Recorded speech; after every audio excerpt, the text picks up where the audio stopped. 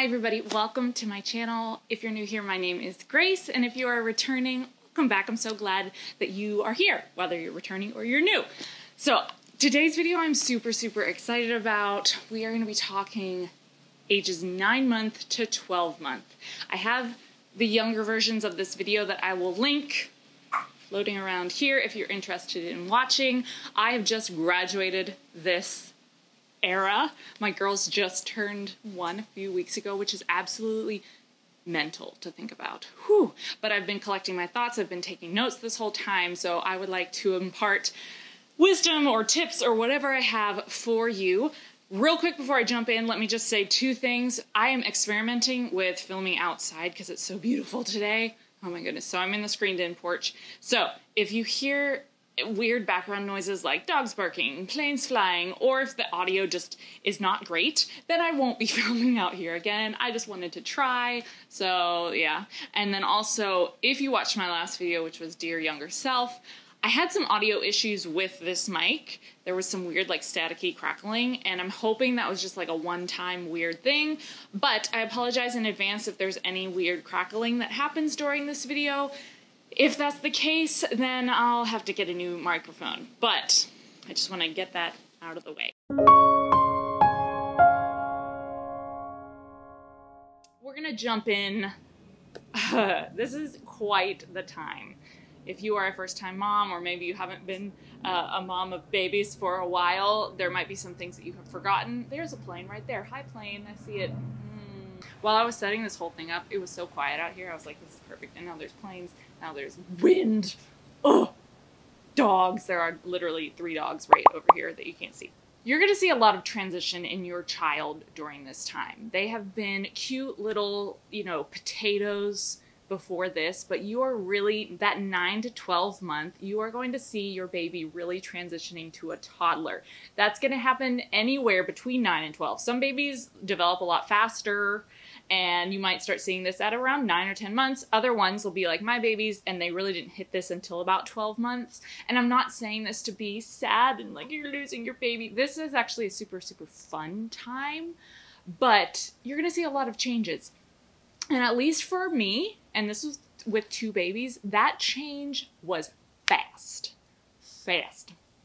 Like, again, I said my babies didn't make this transition until closer to 12 months, but it was like I had babies, babies, babies, babies, toddlers. Like, I know it wasn't overnight, but it sure did feel like that. I thought it was going to be a more gradual change, but for me, it really wasn't. So I don't know if I my babies were an anomaly, but it was kind of crazy how they went from this little, you know, potato that is helpless and I don't want to say boring, but kind of just sits there to, oh, I am a strong, independent woman and I want to do what I want to do. I will tell you what I want. I will scream, you like full toddler.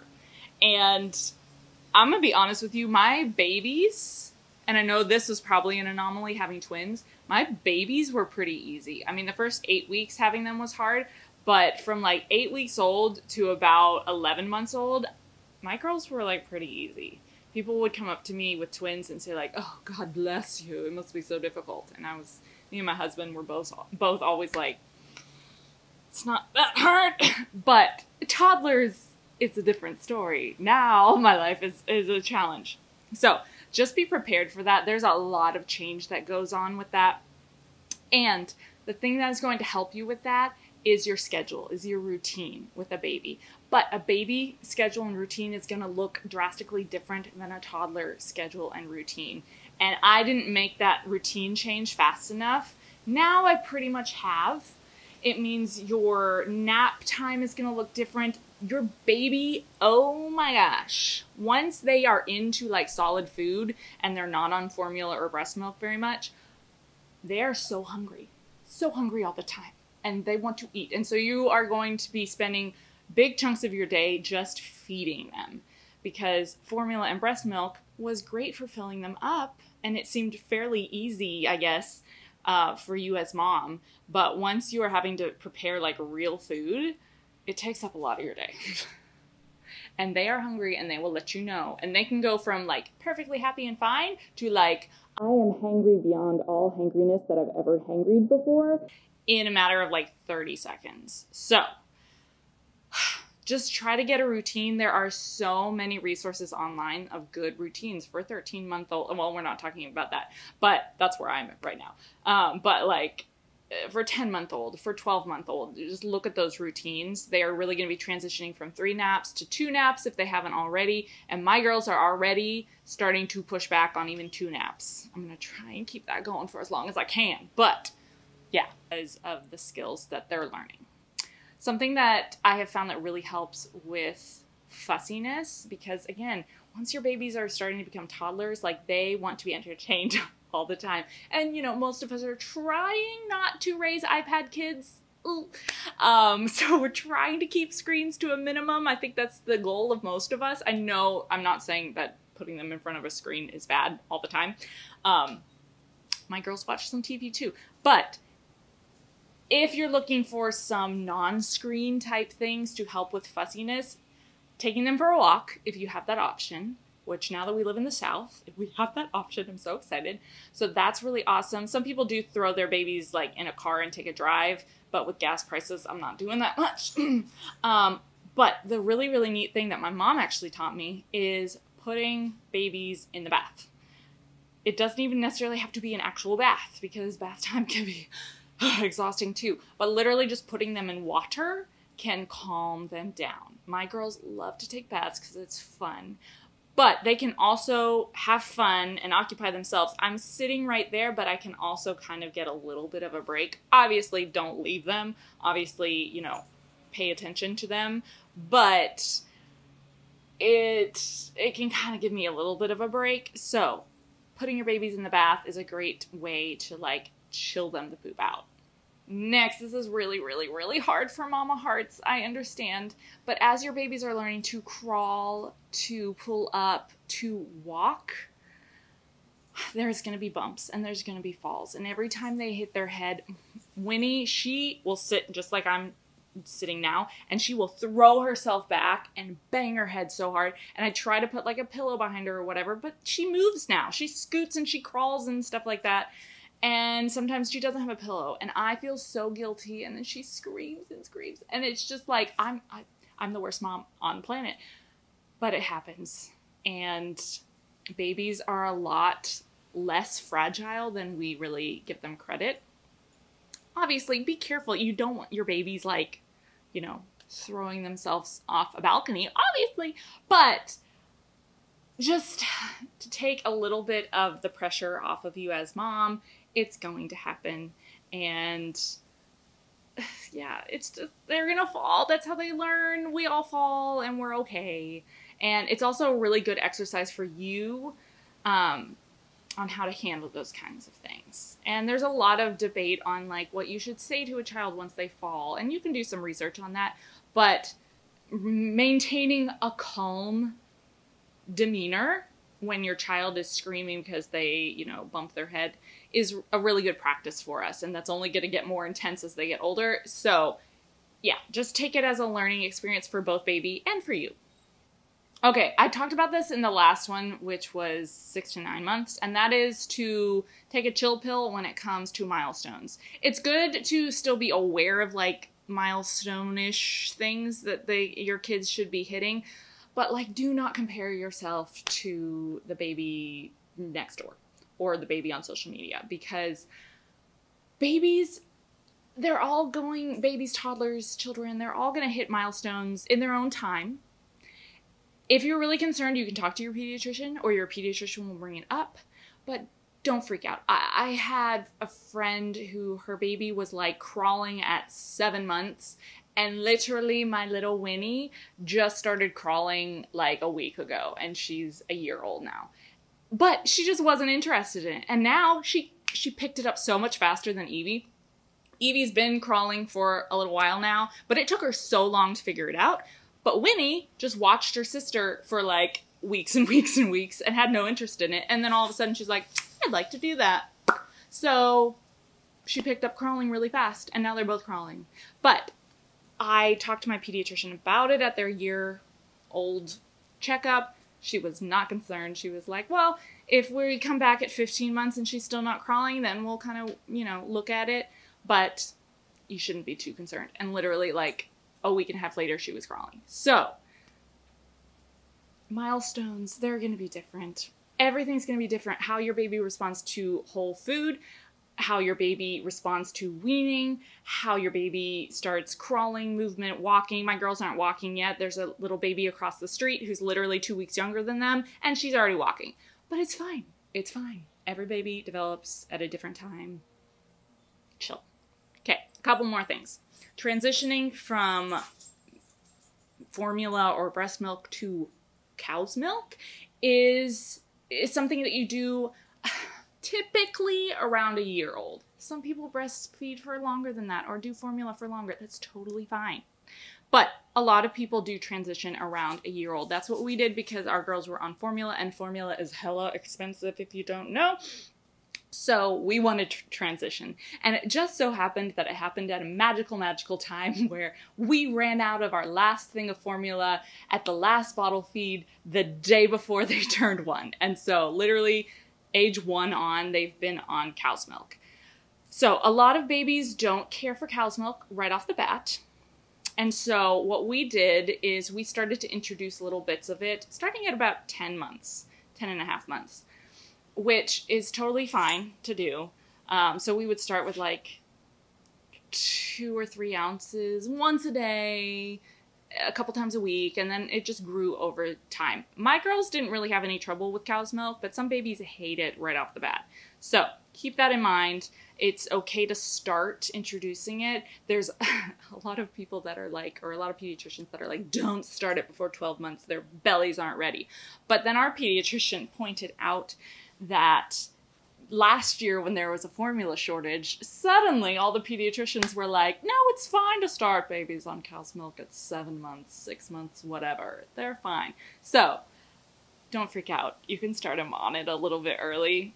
Um, but yeah, so starting with little bits and then transitioning them, weaning them whenever is, you know, the right time for you and your child. Now my girls are exclusively on cow's milk and it's going fine. I want to talk through a couple of the sippy cups that we've tried and how that's going. So I want to start with a bottle actually. Um, once they have weaned off of formula and breast milk, you're only really supposed to put water in baby bottles. We got these Tommee Tippee, they're like 11 ounce bottles, maybe 12 ounce. Um, bottles because we just did the huge cross country um, move and we didn't have all, all, of our bottles. These are the best. I wish we had had these so long ago.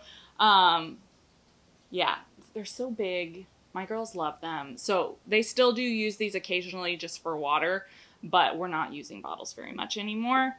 Um, there's debate among people based on sippy cups versus straws sippy cups can be like bad for their teeth development or their palate or something like that. So we don't use this very much, but my mom, who we're living with right now, she had these. No, she didn't. She had another kind, but we bought these um, out of desperation, and my girls love them. They are sippy cups, but they're by NUK. Yeah, this is NUK. They were super affordable, like two of these for like $6 or something like that. Um, and we use these for milk and water and juice, all the things. Um, but the girls really love them. These we got for their birthday from their Nana. They're by Zak. And I wanted them because they're Disney princesses, and I'm obsessed with Disney princesses because I used to work at Disney. I don't think my girls are quite ready for these now that we've um, tried to have them use them a couple times. They aren't completely spill proof, but they're pretty darn spill proof. But the actual act of the sucking um, is pretty, you have to be pretty strong. So I think my girls will grow into these and I think these will be great. But they, they, at this current stage at almost 13 months, they're having a little bit of trouble with these. So yeah, for future. But the wonderful ones that we use all the time and my girls love so much are these. They are by Dr. Brown's. Um, we put milk in them.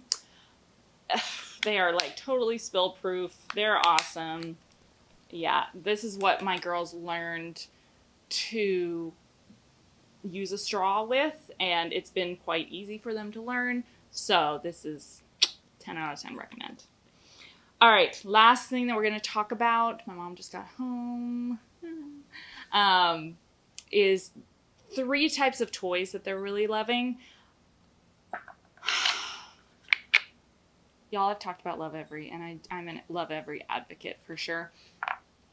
But this in particular came in the 9 to 12 month box.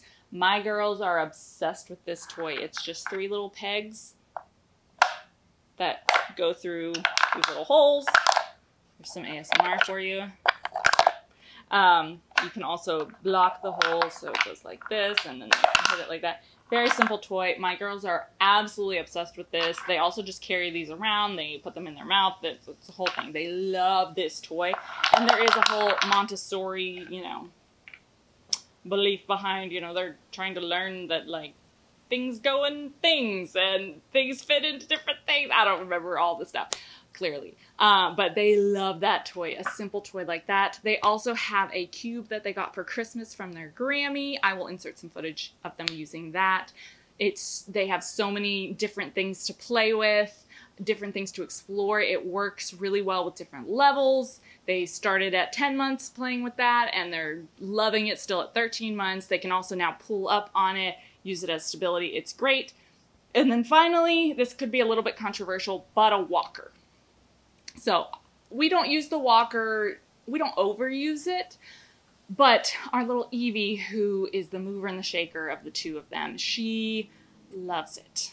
You do have to be really, really careful, obviously, because like if you have stairs, you have to make sure your child's not going to fall down the stairs in a walker or they're not going to pull something down on them. So you do have to make sure your home is fairly baby proofed if you use a walker, but it is really good for a baby that wants to explore but maybe wants to be held all the time to explore and you're like I need my arms, I need to do things to put them in a walker. So again, there are, might be people in the comments that are like, walkers are so bad for their hips and walkers are so bad for safety and blah, blah, blah, blah, blah. You might be right, but also lots of people use them. And it's, uh, I think most things if used, you know, correctly, safely in, you know, what's the word I'm using? Oh, I'm looking for. Um, not overusing it, I think it can be an okay thing. Um, we wouldn't have bought a walker. My mom already had a walker here because of her other grandchildren, and now that I see how much Evie loves it, it has been so fun. Um, and kind of a time saver for me as mom. So that's all that I have to say. I hope that you found this useful and helpful. Comment down below if you have your own tips for moms of 9 to 12 month olds. I'm going to be continuing to make this series as my girlies get older and are experiencing new things. But I love to hear from you guys. I love to learn from you guys. So please drop your own wisdom below. If you enjoyed this video and if you made it this far, I would love it if you would consider subscribing and joining the conversation and the little community here that is small but growing.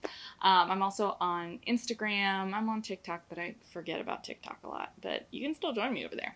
Um, and we have some really different videos coming up. Obviously, I'm still going to be talking motherhood and babies and things like that. But we are also in the process of buying a house right now that needs some re renovations. So we're going to have some videos of that kind of ilk. So if that's your type of thing, please subscribe. I'm really excited. It's going to be a fun, quirky, funky house. So um, I hope you guys have a great rest of your day and thanks for watching. Bye.